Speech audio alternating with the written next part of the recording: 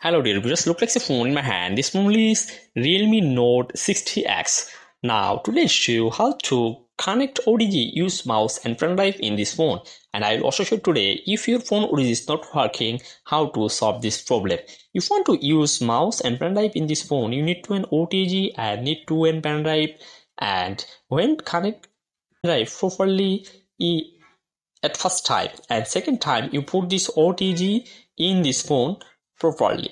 And wait few seconds after installing it but here I can see my phone is not working.